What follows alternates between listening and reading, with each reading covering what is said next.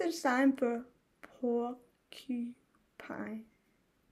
So you would take this hand just like as if it's the animal, and you know, with the porcupine, you know, they have um,